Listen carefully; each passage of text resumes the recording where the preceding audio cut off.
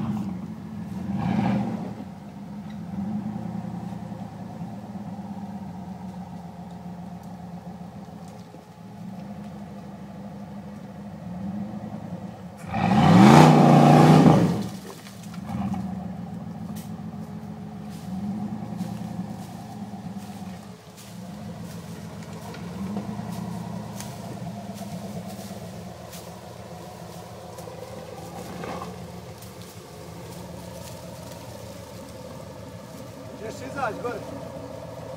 Nemoj vamo ništa. Daj, Ćeš gore izaći. a? Pa ćeš gore izaći. Neću. Ja. Nigdje. Nako. Pazi, ovdje rupa ti je desno.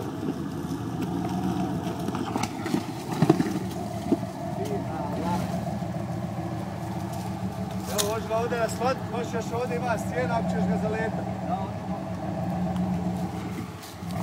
Zalet ga, evo. Još, još, još, još. Još, još, još, još, još. Još,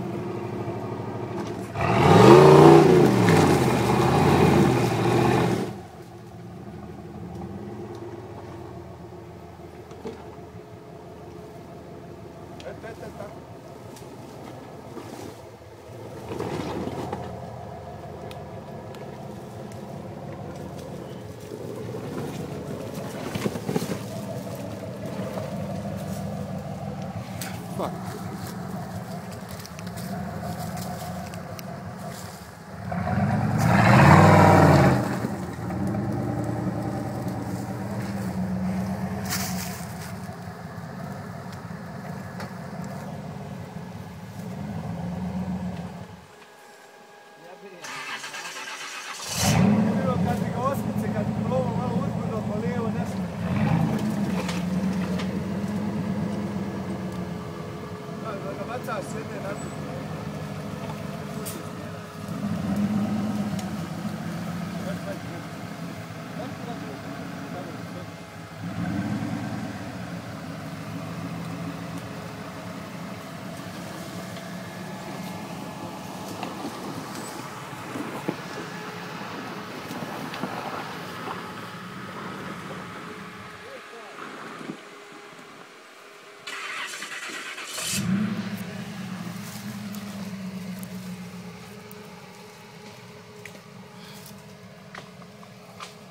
Probiert das nochmal von ganz unten, gell?